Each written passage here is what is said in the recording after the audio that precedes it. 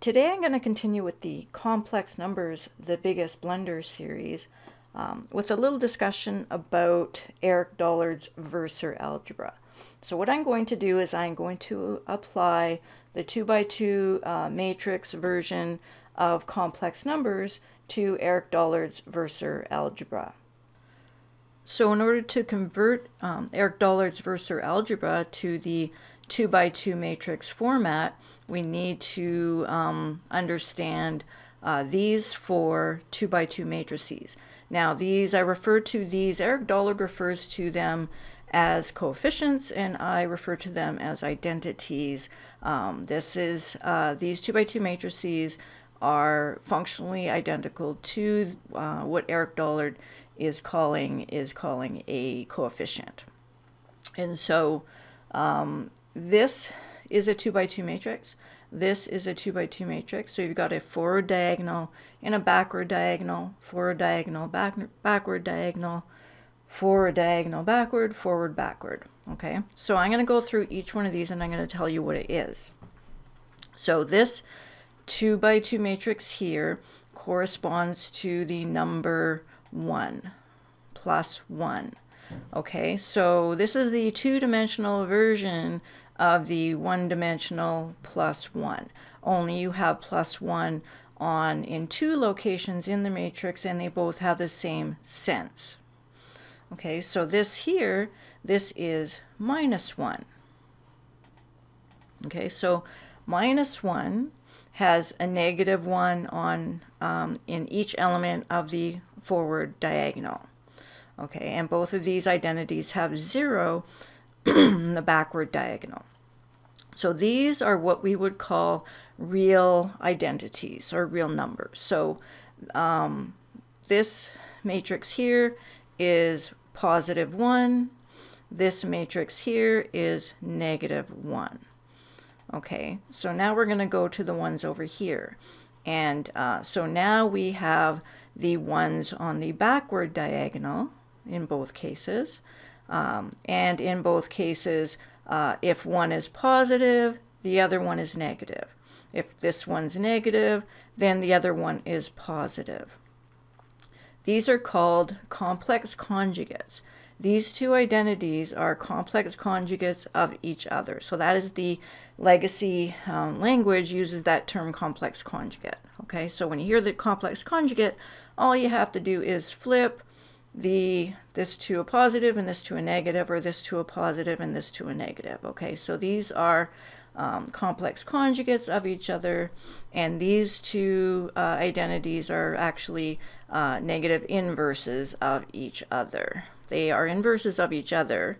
So negative this is this, and negative this is this. Okay, positive this is this, and positive this is this. So these are um, inverses of each other. If you inverse this, you get this. If you inverse this, you get this. If you conjugate this, you get this. If you conjugate this, you get this. And so this is the, these are the complex um, identities in a nutshell, and these are the only ones. Okay, so uh, uh, in order for it to be a complex number, these are the only ones we need. These are the only ones that satisfy the rules of complex numbers. Okay, complex numbers have rules. So if you put a positive here and a negative here, it is not going to be a complex number. And if you put a positive here and a positive here, it is not going to be a complex number. It's going to be some other number, but um, I am trying to uh, figure out how nature works, and I believe that this is all I need in order to understand nature. Okay, so this is 1 minus 1, i, and minus i. Okay, so uh, when you have a pause, it's it, this is my convention, okay? This is the convention I came up with. It's arbitrary because these are complex conjugates of each other. It is arbitrary uh, which one you call positive and which one you call negative. So I choose to call this one positive, okay, because the positive is here. So this is positive i, and this is negative i. Negative i is the complex conjugate. These two are flipped, right? Positive and negative are flipped. These are the complex conjugates of each other. Okay, so this is i, this is minus i, this is 1, and this is minus 1, and these are the identities of the two-dimensional numbers that we uh, commonly refer to as complex numbers. So what I'm going to do to test these identities is I'm going to a, apply a, uh, an operation on them. So what I'm going to do is I'm going to square each one of these matrices to see if I get the right answer. Okay, so when you square the positive on the forward diagonal 2 by 2 matrix, you get back the positive on the forward diagonal um, identity matrix. This is called the identity matrix. So when you square the identity matrix, you get the identity matrix. So this makes sense. When you square 1, you get 1. Now what happens when you square minus 1? When you square minus 1, you in the real numbers, you also get 1. And so in two-dimensional numbers, sorry, one-dimensional numbers, you square minus 1 and you get 1. In the two-dimensional numbers, when you square minus 1, you also get 1. Okay, so this um, this satisfies, you know, the, the rules that we expect a number system to have, whether they be one-dimensional numbers or two-dimensional numbers. And so now we're going to do the imaginary component. Okay, so this is I in legacy language. So this matrix here, when you square it, so when I squared in the in the standard language, legacy language, I squared equals minus one. So when you square this, when you take this matrix and you square it, then you get minus one on the forward diagonal. And this is the minus one that I show over here. This is what we call minus 1 um, in two dimensions. Okay, so um, this, uh, this is i and this is minus i. This is the complex conjugate of this. When you square this 2 by 2 matrix, you also get minus 1. Okay, so when you square i, you get minus 1, and when you square minus i, you also get minus 1. And so this satisfies the um, normal math that you would associate with one dimensional, or sorry, with the square root of negative 1 uh, version of i. Okay, so I'm going to put it all together. So this is the real numbers. When you square um, 1, you get 1, and when you square minus 1, you get 1, and when you square i, you get minus 1, and when you square minus i, you also get minus 1. Okay, so this, uh, you know, seems to be working in terms of a number system that it closely resembles the one-dimensional numbers, only they are two-dimensional numbers. So now we have all the tools we need to understand Eric Dollard's versor algebra. Okay, so here um, he does something a little different um, in terms of the way he lays things out, and it makes sense. So uh, what he does is he um, he has sort of a sequence going on here, and he goes from plus 1 to plus i to minus 1 to minus i, and then he um, i, and he cycles back through to plus 1.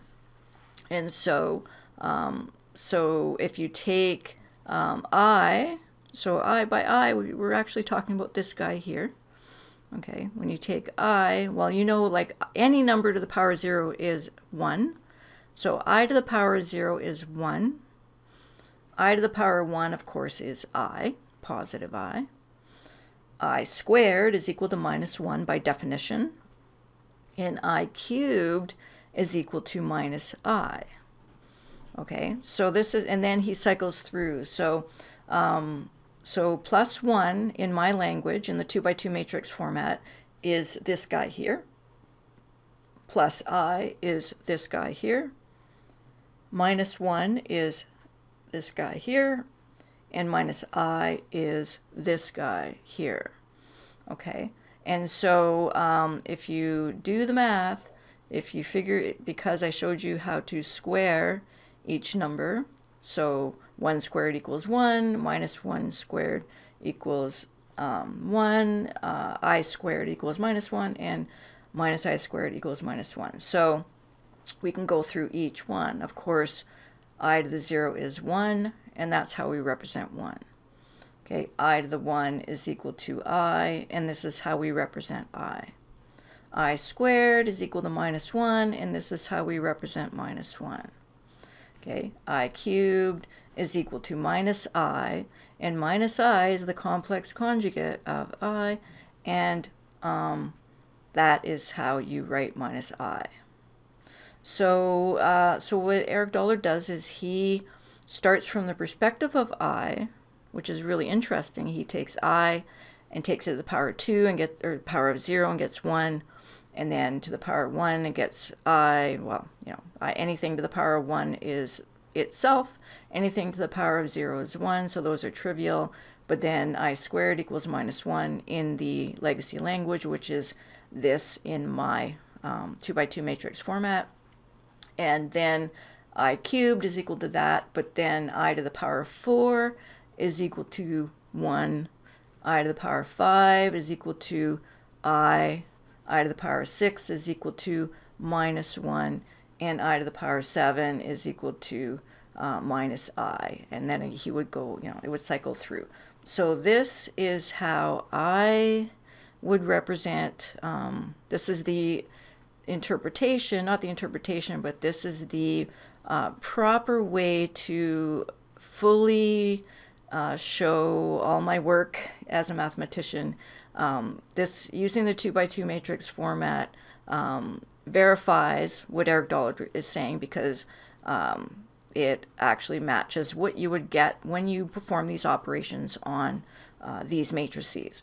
And so if I took this matrix and cubed it, okay, sorry, if I took uh, I and cubed it, I would get this for an answer.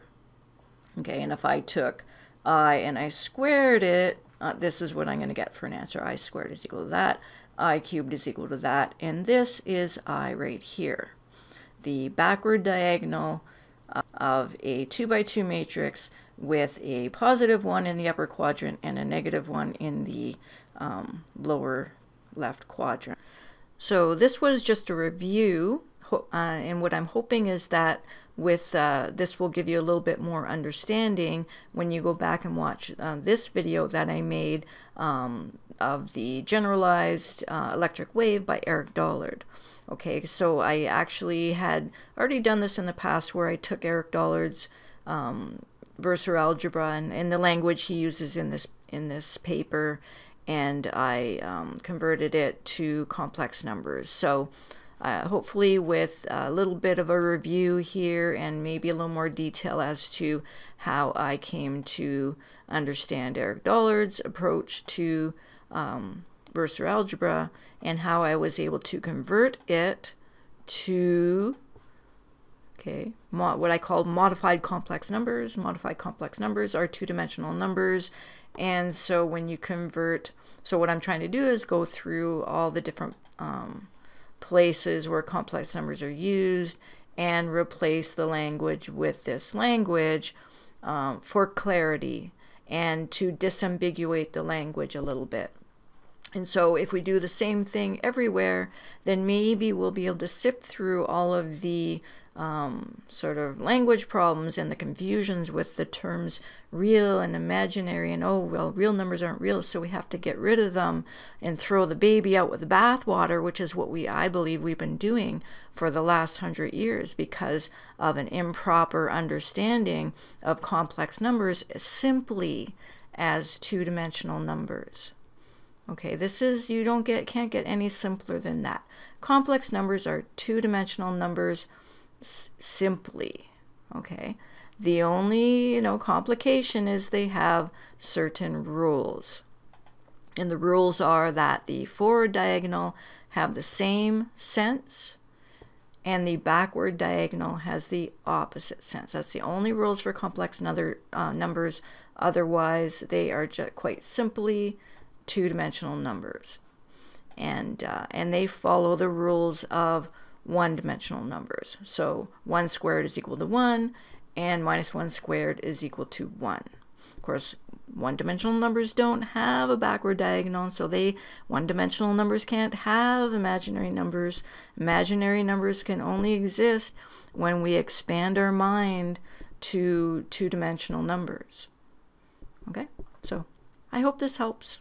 I hope this helps. And uh, I'm going to keep looking for places where I can apply this and simplify, uh, simplify the language down to, you know, first principles. So great. Have a good night.